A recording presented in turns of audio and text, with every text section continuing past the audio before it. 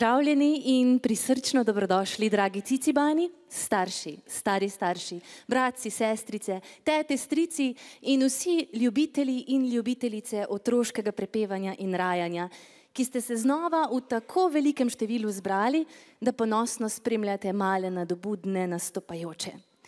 Cicibanski in vzgojiteljski ustvarjalni nemir v Mariboru letos že 47. leto doživlja svoj vrhunec na prireditvi Ciciban poje in pleše v organizaciji Javnega sklada Republike Slovenije za kulturne dejavnosti, Zveze kulturnih društev Maribor in skupnosti vrtcev Maribor. Ples in pesem v veliki dvorani Slovenskega narodnega gledališča v Mariboru vsako leto združi štajerski glasbeni podmladek. Tokrat je to 650 otrok na dveh koncertih, 10 plesnih skupin in 16 pevskih zborov. Dovolite mi, da v prvi vrsti prav lepo pozdravim naše današnje goste. Z nami so Tomaž Habe.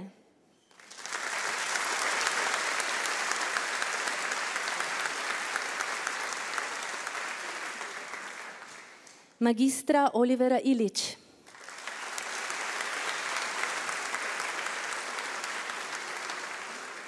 Doktorica Olga Denac.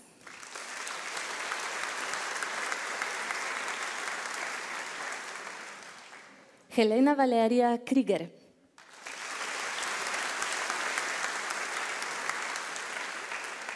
In predsednik Zveze kulturnih društev Maribor, magister Franci Pivec.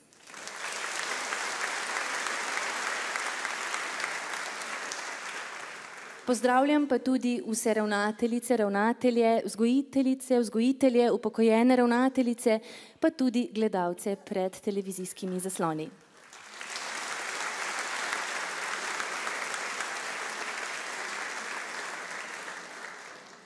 Začnemo? Pa začnimo.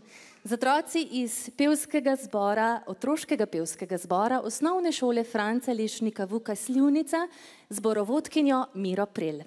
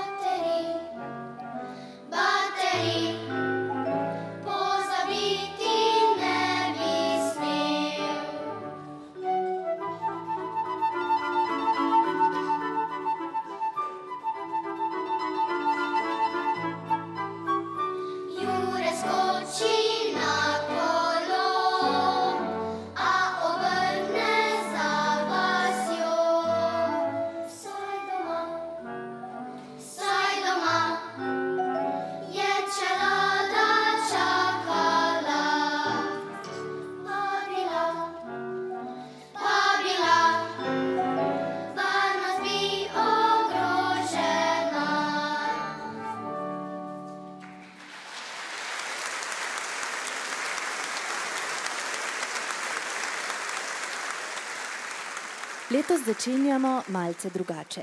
Otroški pevski zbor iz Slivnice je zapel pesem Ura je na morje šla, kar je tudi naslov knjige z dvanajstimi pesmimi, ki jo je izdala mladinska knjiga ob sedemdesetem življenjskem jubileju Tomaža Habeta in tudi mi letos posvečamo našega cicibana Tomažu Habetu, ki nas s svojimi skladbami in priredbami spremlja že več desetletij. Zato zdaj na oder vabim predsednika Zveze kulturnih društev Maribor, magistra Francija Pivca, da nam spregovori. Igral na 47. Cicibano poje in pleše. 47. E, veste, kdaj se je potem takem to začelo? 1970. Takrat je imel znameniti gospod, kateremu bomo posvetili slavilni trenutek, rosnih 23 let, a je že diplomiral na Akademiji za glasbo, čeprav je bil predtem močno angažiran kot soustanovitelj in nekaj let klaviaturist, trpevec legendarnih mladih levov. Pri njegovih dvajsetih ga je Slovenija spoznala kot skladatelja skoraj kultne ode Ireni, ki jo je zapel Tomaš Pengov. Govorim o skladatelju, dirigentu, zborovodji, pedagogu in tudi izšolanem violinistu, sicer pa multiinstrumentalistu, profesorju Tomažu Habetu, ki torej letos praznuje 70 let, Zveza kulturnih društev Maribor pa je odločila, da mu ob tej priložnosti podeli svoje najviše priznanje in plaketo, zato ga lepo prosim, da sprejme naše odlikovanje.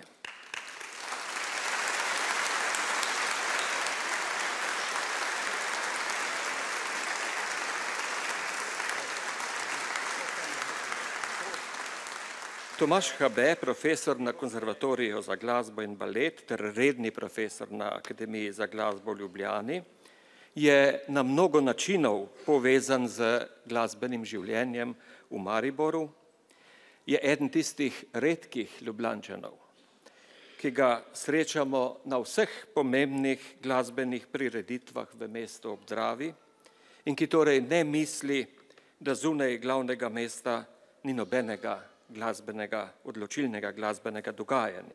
Desetine generacij naših otrok so vstopile v svet glasbe, s pomočjo njegovih abecednikov, če tako imenujem njegove učbenike nauka o glasbi in solfeča.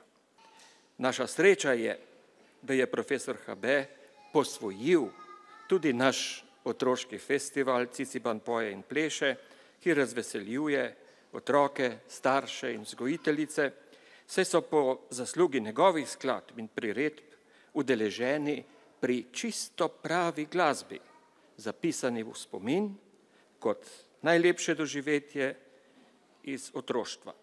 Zveza kulturnih društev Maribor se s tem priznanjem podpisuje tudi pod geslo profesorja Tomaža Habeta, ki se glasi: Vsakdo naj se uči vsej enega inštrumenta in poje v pevskem zboru.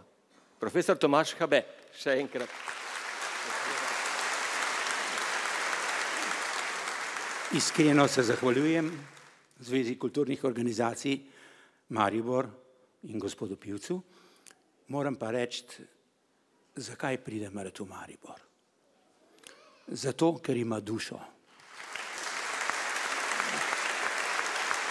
Zahvalil se bi staršem, detkam, babicam, vsem tistim, ki spremljate svoje malčke, bodi si kot vnuke, bodi si svoje otroke, z njimi prepevate, si vzamete čas, vzemite si čas, tako kot ste ga danes vzeli za prireditev, ker žarite ob dosežkih svojih otrok, tako si vzemite čas doma, z njimi se poigrajte, z njimi zapojte, z njimi zarajajte, skratka, vzemite si nekaj minut vsak dan ali pa saj na teden nekakšno urico, in z njimi na drugačen način, ne pred televizorjem, ne pred eh, ne vem, kakšnim računalnikom, poskušajte živo zamuzicirati z njim, zapet, to bo popotnica, to bo popotnica Sloveniji, ki bo ohranila svojo identiteto slovensko ljudsko pesmijo.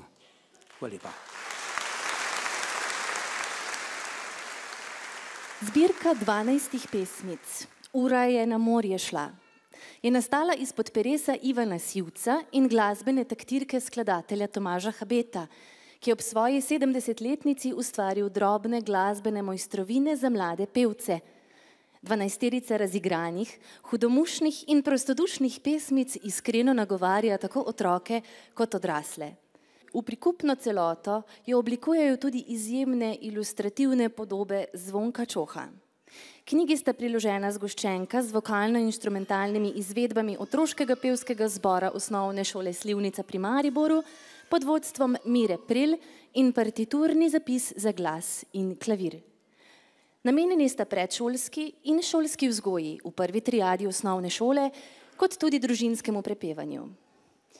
Otroški pevski zbor Slivnica nam bo zapel še dve skladbici iz omenjene zbirke. To bosta Habetovi Kapljica, kjer bo solistka Alina Tajhman, ter Dedek moj, kjer bosta solista Alina Tajhman in Tabija Jakolič.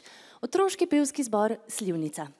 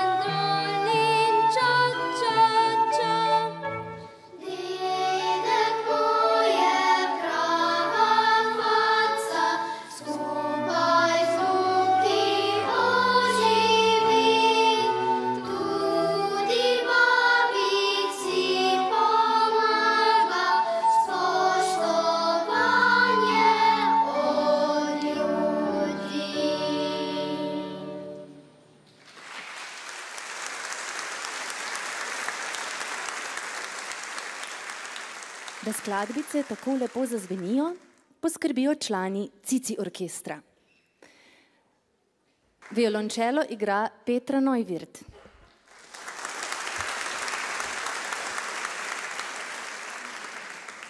Klarinet Lauro Turin.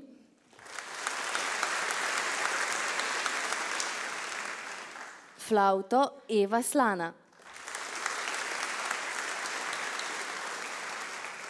Tolkala Dima Averjanov.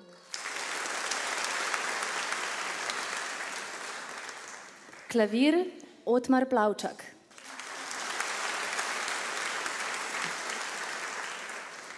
Malce kasneje boste slišali še harmoniko, igrajo pa Klemen Bojanovič.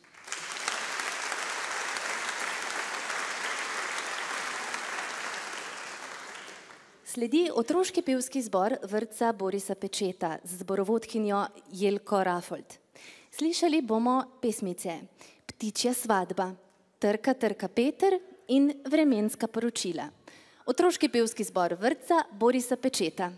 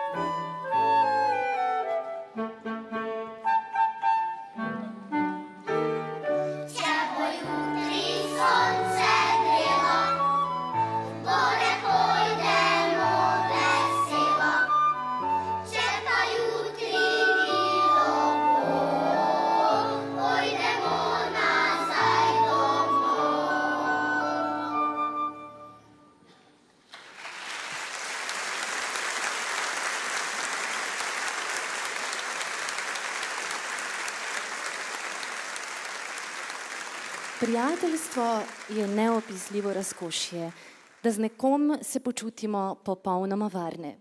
Prijateljstvo je vrednota, brez katere svet gotovo ne bi bil tako lep.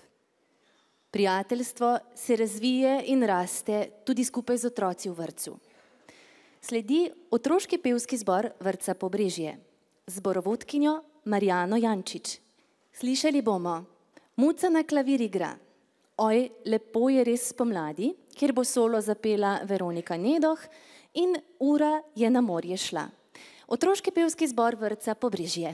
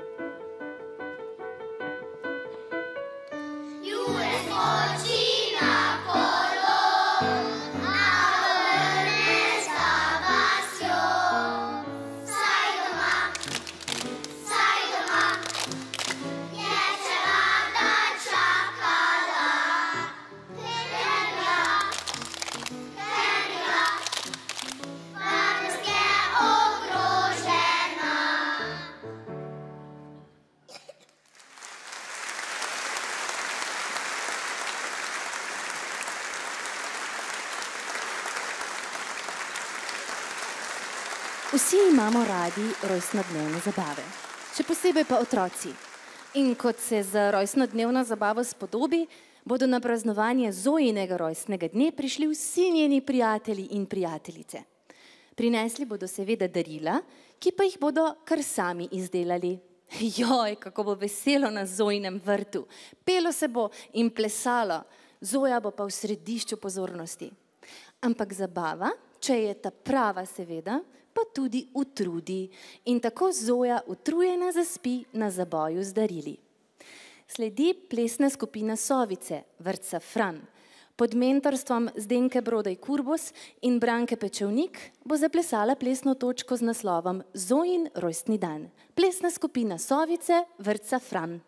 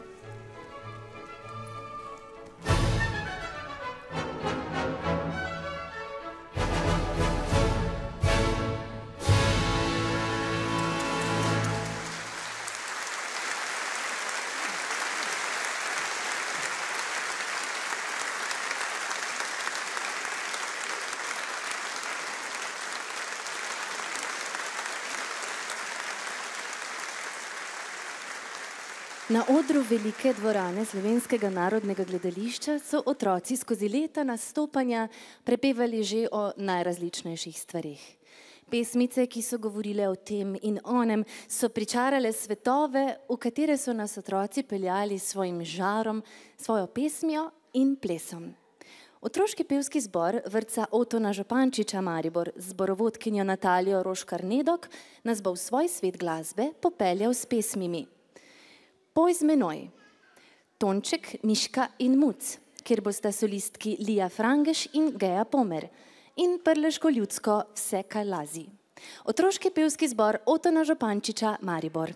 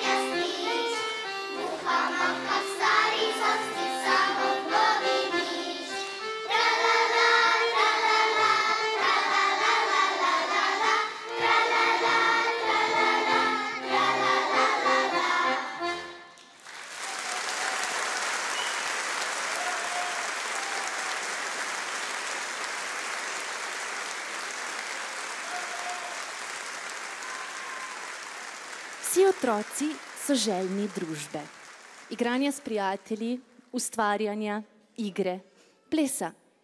Ko so skupaj, so kot neustavljiva sila, ki podre tabuje in vsaka drugačnost zbledi. V igri so vsi eno, v igri so vsi samo otroci. V vrtiljaku vseh različnosti so si tam vsi enaki. Plesna skupina vrtca Borisa Pečeta pod mentorstvom Barbare Šater bo zaplesala plesno točko z naslovom Otroški vrtiljak. Plesna skupina vrtca Borisa Pečeta.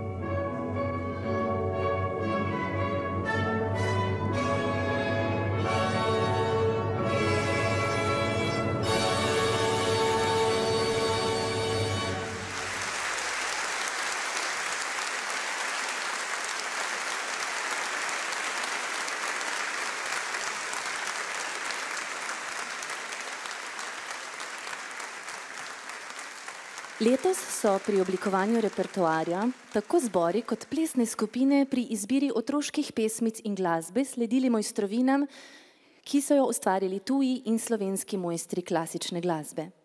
Tako bomo med drugim prisluhnili tudi otroškemu pevskemu zboru vrca Markovci z zborovodkinjo Polonco Strelec Tuš v Mozartovi računstvo. Sledila ji bo Kadar Pavžek trdno spi, svoj nastop pa sklenajo s tri miši na dežju. Otroški pevski zbor vrca Markovci.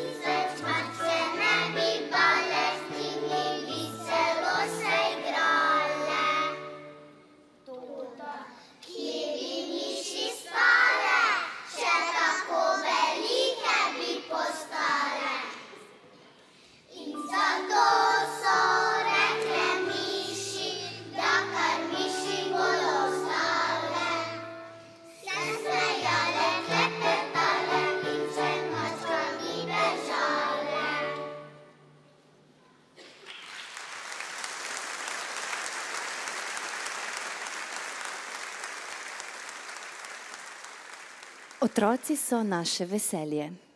Kako lepo jih je opazovati pri igri. Tako brezkrbni in radostni so, ko v svojem malem svetu igrari raziskujejo svoje zmožnosti. In kako ponosni smo lahko na njihove dosežke, ko se vsak dan naučijo kaj novega. Pravi užitek jih je opazovati v stvarih, v katerih uživajo. Nekaj najlepšega pa je, ko otrok z veseljem zapoje, kar srce nam zaigra, kaj ne? Srček bo igral tudi otrokom od otroškega pevskega zbora Vrca Tezno in zborovodkinji Poloni Volmajer. Slišali bomo Mačke in psi. Pri pesmici bo solo zapela Sara Klajnšek. Sledila ji bo Osev in Kukavica.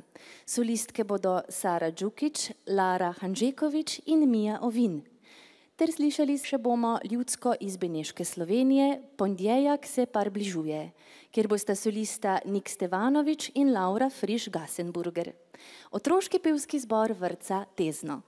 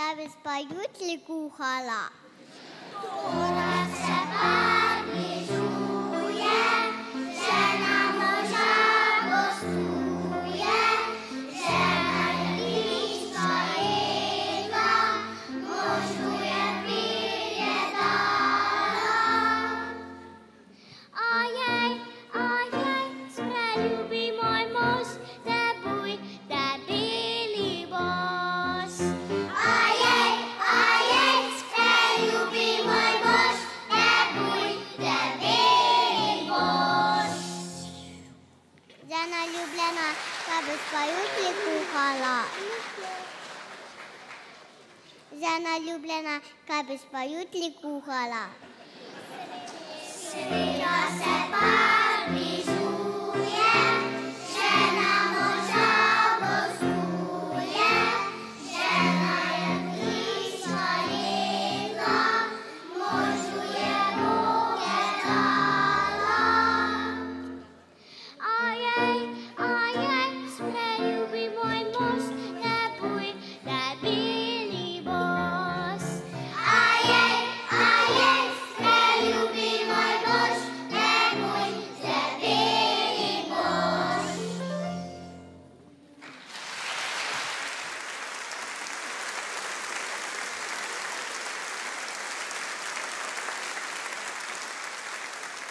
Domine so priljubljena igra, ki se igra s ploščicami z različnimi števili pik na vsaki polovici.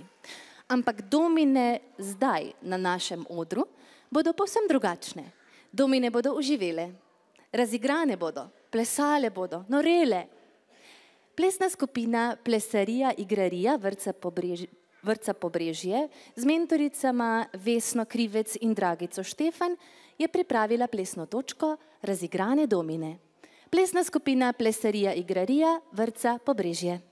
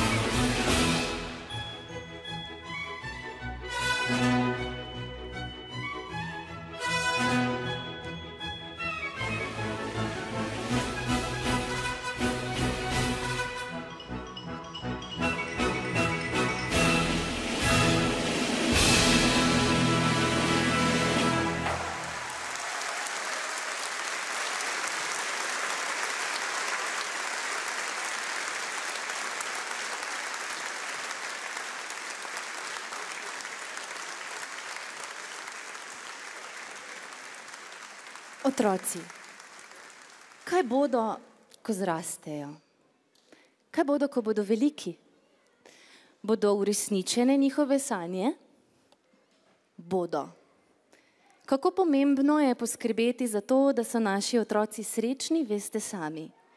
Se pa začne z majhnimi stvarmi, ki osrečujejo. Vsi bodo zrasli v vesele ljudi, če bodo vsak dan občutili veselje. V pozorne ljudi, če bodo vsak dan deležni pozornosti. In v srčne ljudi, če bodo vsak dan ljubljeni.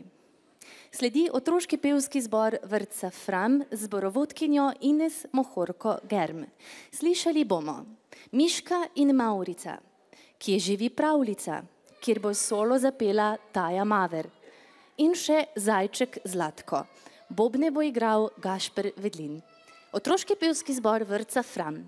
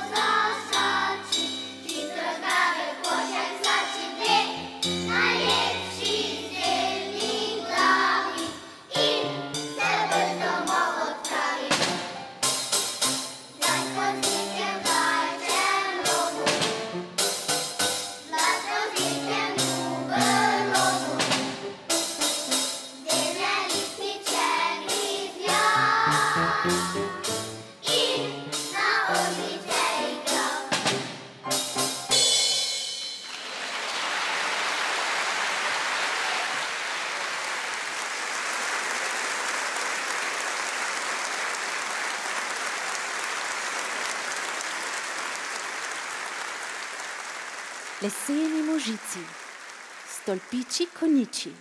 Če znamo igrati, smo umni fantiči.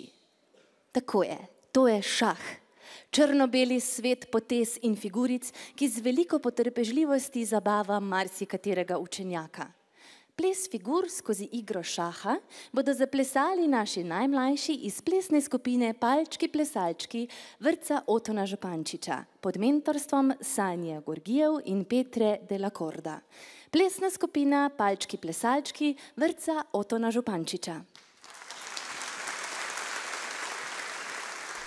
Miške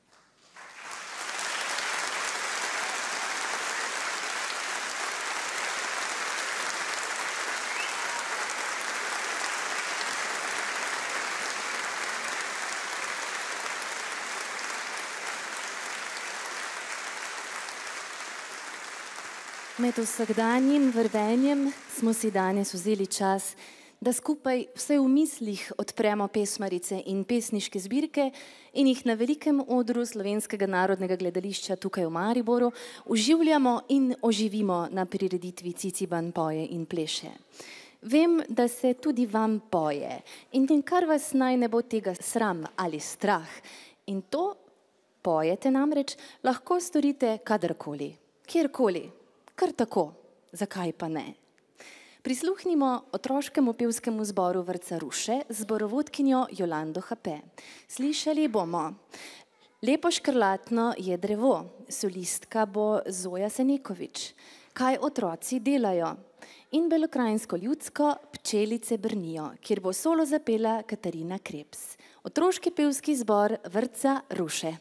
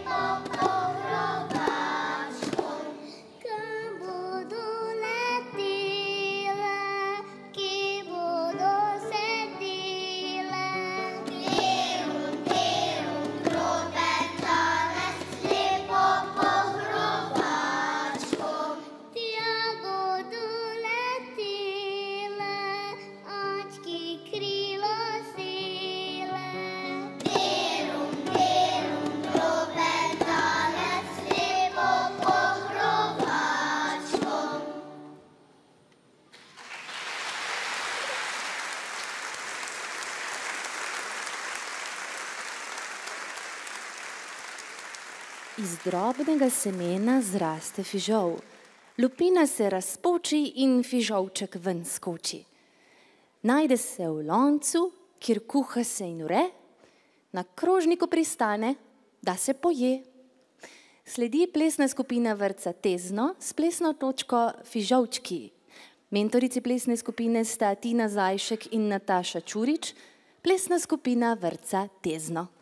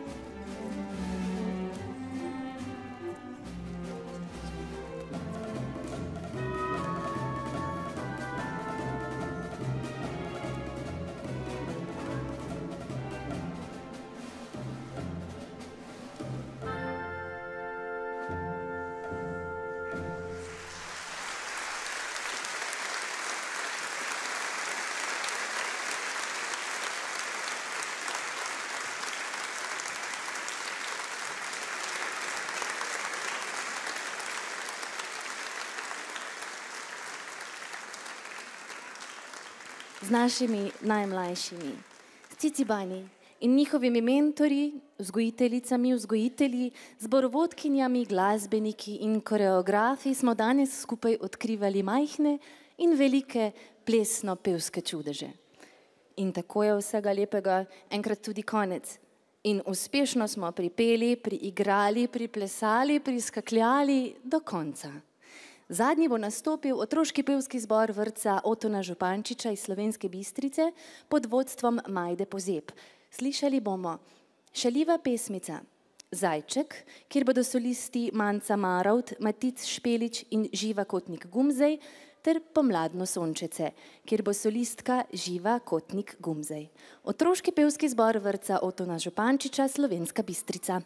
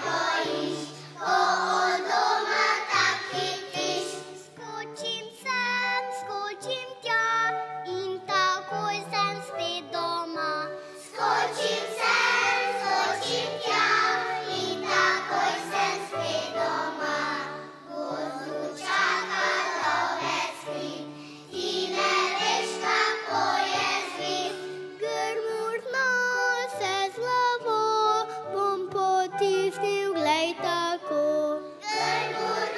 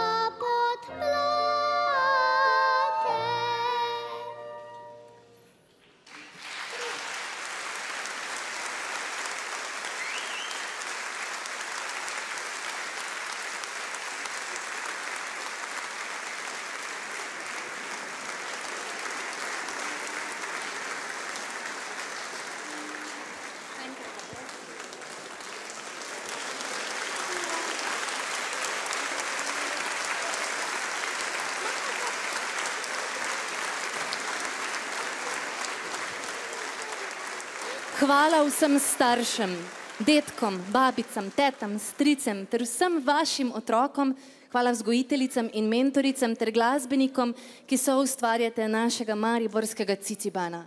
Javni sklad Republike Slovenije za kulturno dejavnost, Zveza kulturnih društev Maribor in skupnost vrtcev Maribor se podpisujejo pod prireditev Ciciban poje in pleše.